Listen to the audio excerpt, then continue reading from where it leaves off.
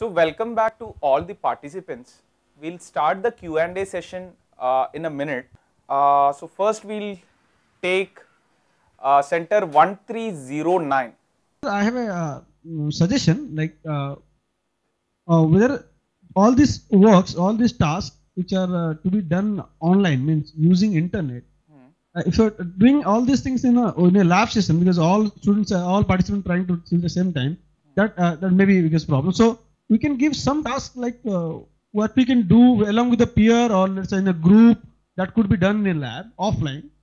Then later on they can uh, take this assignment, uh, take this, uh, whatever they decided or refined done, the refinement done, all they can upload later on at their respective times. So that would be better than this uh, session what we're doing today. Okay, uh, we do accept uh, your suggestion. Even we did not accept this, uh, expect that uh, private site like Wikispaces will crash due to 3000 participants. So uh, we uh, understand what you are saying and we'll definitely for the next workshop we will make sure that your uh, suggestions are taken care of. Center 1247, School of Management sciences Good evening, sir. Uh, My question is, uh, you uh, gave us so many examples for visualization through all the repositories, but uh, being a domain of civil engineering, I was unable to find out uh, my domain's uh, visualization, simulation and all. I just wanted to ask that, uh, are you going to provide some guidelines how I can create my own simulation or animation or visualization for my domain topic? If there will be any guidance from your side.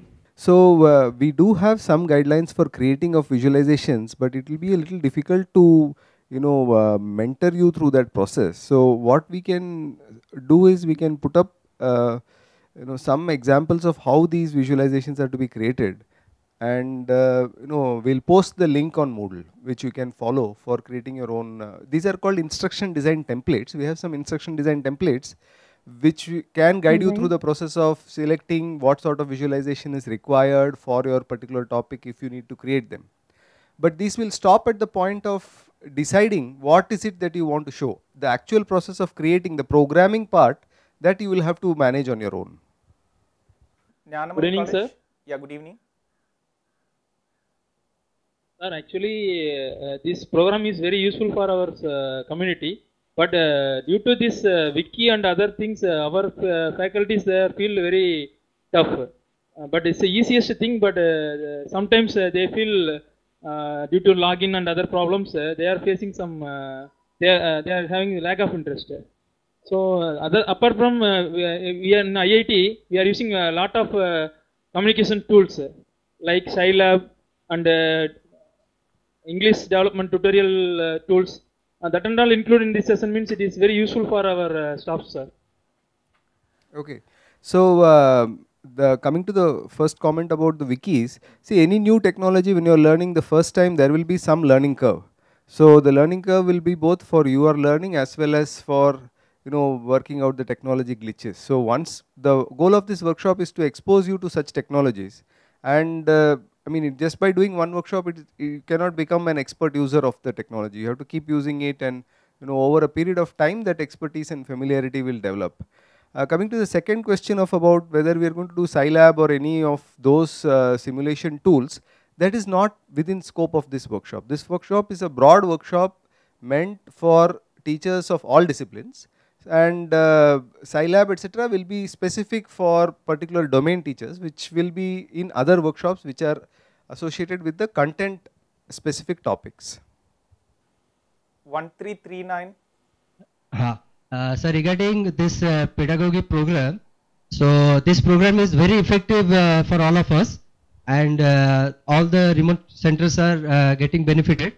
Uh, so thing is that, uh, sir, uh, for the today's program, the visualization process, sir, is it effective for the uh, in your classroom uh, because of uh, for our university pattern? Because uh, all the students are uh, that is uh, uh, they are acquainted with the traditional concept. So we are also what uh, normally we are doing. So we are completing our courses, the regular courses, as per the uh, semester curriculum. So thing is that this visualization process is effective. That means to complete all the syllabuses as per the time schedule. Okay, so the visualization can be used as a substitute for a lot of the lecturing that you do. So instead of explaining the lot of detail, what you can do is you can show an appropriate visualization, pause it as at an at the correct time and ask students to predict. So the entire this entire workshop has been about how to stop doing lecturing and how to increase the amount of work or amount of active learning that happens in the classroom. So that is one way in which you can use visualization and still complete your syllabus. So the key idea here is there are two ideas. One is to find a visualization which is appropriate for the topic and the other is to use the visualization in an appropriate manner. And both of these are what we have focused on in this workshop. Center 1215. how we can integrate various components of lesson plan. As per our peer discussion, manual lesson plan is more conve- convenient than digital lesson plan. So please So the the point is whether you are creating the lesson plan manually or digitally is not so important. The use of digital technology as part of your lesson plan is the important part. So even if you are going to simply write down the lesson plan wherein you are going to say what you are going to do when in your uh, when you are taking the class and which tools you are going to use, I think that is fine. Okay, uh, RC1313. Sir, after uh, creating wiki, after creating wiki page name, so how can we edit or change the page name, sir? Okay, uh, at this moment, uh, I believe that members do not have uh, options to rename the pages. Uh, only the organizers and the creators will have permissions to change uh, the name of your page. So, at uh, please note that you are using wiki as a student. So, all the experience that you have got till now is about how a student will feel when he is doing wiki operations. So, there will be a separate uh, what do you say a separate lesson on how to use wiki for uh, as a teacher which will be uploaded tomorrow and it will be part of your post workshop activity where you will actually create your own wiki and do various tasks. So, then you will be able to see how you can rename the page and explore various functionalities that is possible in wiki uh, within your own uh, created wiki. Yeah, RC1305. My question is, what specific software can be used for making the simulation? Okay. Is there any specific software name? So there are uh, tons of software to create simulations. So uh, you could do it using uh, Java based softwares. Uh, you have uh, Adobe's uh, premium suite which you can use. Uh, Flash you can use for creating animations. So all these are uh, some of the, um, I mean, few among the many software that are available for creating simulations. If there is any other open source tool is available to work on lesson plan and portfolio other than Wikipedia. So there are lots of uh, lesson plan, I mean other wikis that you can use other than wiki spaces. So uh, some of them are uh, media wiki or you can use PB wiki uh, uh, and uh, Moodle itself has a wiki functionality inbuilt in it.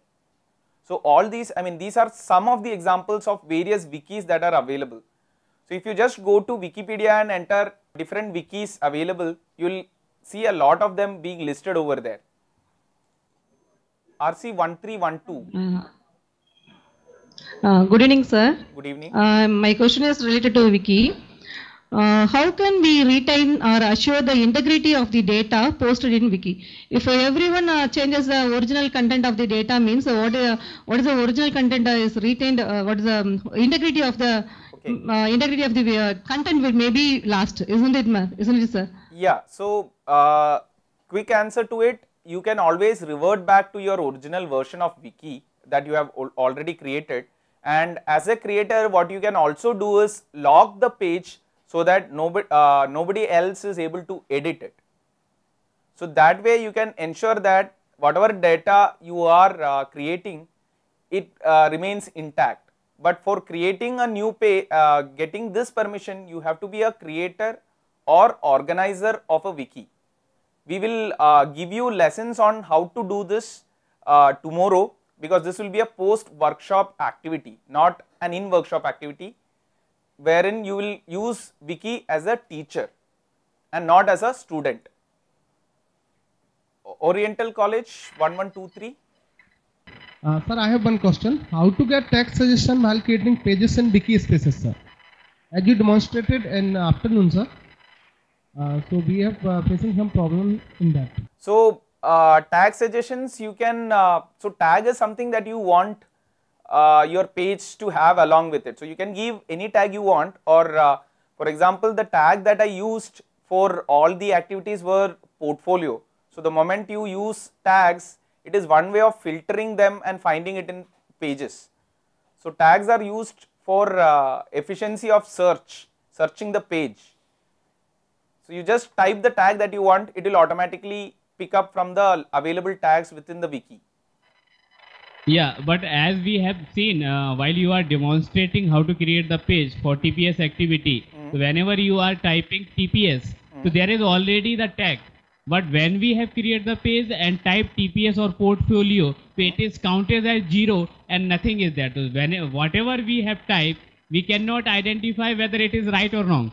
Okay, so uh, it may be because of the case. Go to the uh, particular page that I have created and on the right hand top you will see more options. You can see the tags of that. Use the same case of the tag that is there in that particular page and uh, retype it in your own created page. Can we enrich such type of suggestion by default uh, given by the wiki space? As Yes, I uh, have thinking that it, it, it automatically creates. So what might have happened is because there are so many, so around there are around 3000 participants who are accessing wiki spaces at the same time, the same wiki for trial wiki. That may be a reason why the tag suggestions came late. So you would have seen Google Instant sometimes getting turned off uh, when the bandwidth is very low or uh, when there is too much traffic. So it might be a similar technical glitch that happened to wiki spaces while you were writing the tags. Sir, uh, one more question I want to ask. Actually, uh, may, this may be a silly question. Uh, the reliability and the uh, scalability of the wiki spaces, as we have experienced the delay and maintenance problem. So, if we are uh, popular this uh, wiki space, so what is the reliability? That means the persistency of the wiki space and the scalability problem that we have uh, faces while lab in lab Okay, session. Uh, okay, uh, to tell you from my example, uh, the reliability of wiki when I gave it to a student population of around 300 to 400 was very high. So it was highly reliable. There were no database errors. So uh, we had uh, done a similar exercise for a lower audience when the participants were between 400 to 1000. But uh, for this T10KT, so that is why we selected wiki spaces for this particular T10KT workshop. And apparently when you scale it above 1000, it seems there are issues for the wiki spaces. So we have to troubleshoot what exactly happened. But uh, I think for a, yeah, so I think your classroom will be less than 1000. So in this, in which case you can uh, safely trust Wikispaces to work fine.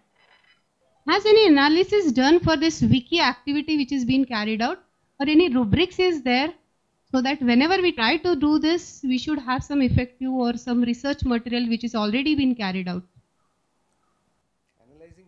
So if your questioning question is about analyzing the work that your students carry out using a wiki, then yes, you can write rubrics for it. I mean that is similar to what you would do for assessing any group assignment. So you would come up with criteria on which the assessment uh, is to be done, and you would come up with uh, you know needs improvement and uh, meets expectation and exceeds expectation type of levels for each of those uh, rubrics, each of those uh, items.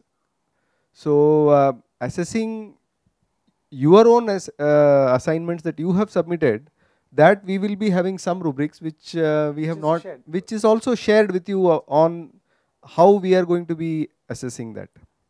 So for uh, assessing your own activity for each of the activities, like for learning objectives, we had given self-assessment and peer assessment guidelines Uh, so if that is the question, then all these rubrics like for peer instruction, think, pair, share, assessment strategy, flip classroom, all these activities rubrics have already been shared through either assignments or within sessions. So are you referring to these assessment rubrics? Uh, I was uh, referring to the students rubrics actually, while implementation in the class. So you will have to create your own rubrics. So what we have created for you is considering you as students. So when you do it for your own students, then you will have to incorporate the content that is, I mean, content specific uh, criterias and create your own rubrics. So ours is only a just a guideline on how to create rubrics. Yeah, 1173 Thiagarajar College. We have got two questions from our side. Uh, first question is when we how to include equations and images in the wiki page. When we copy a document from the Word and copy it in the wiki space, images and uh, equations are missing, sir. This question number one. And question number two is, can we have all the activities that we do in wiki space in Moodle also? What are the differences between the two uh, facilities available? by default the wiki editor that you see is a what you see what you get. So what it means is you can just type whatever you want to type that's it. So equations and all these are uh, characters which needs more uh, more finesse or more uh, uh, plugins to make sure that equations are displayed as it is. So even in Word across years they have refined it. So a simple strategy that you can do is uh, put up the word or put it in a Microsoft PowerPoint and create an image of the equation so that this equation is not editable and then upload this image in the wiki page. So this is one way of working around with available resources. Uh, regarding second option, uh, you were comparing Moodle versus wiki. So a simple difference between the two is that a Moodle is a learning management system. So it offers a wide variety of features that a learning, uh, a simple wiki, wiki is only a web page at the end of the day. So a uh, difference between a wiki and a Moodle is that wiki has less functionality, but it has very specific functionality that it allows you to collaborate, it allows you to create pages, whereas Moodle you have multiple functionalities associated with the teaching learning activities. It is a software designed specifically for all the packages that come in the teaching learning activity.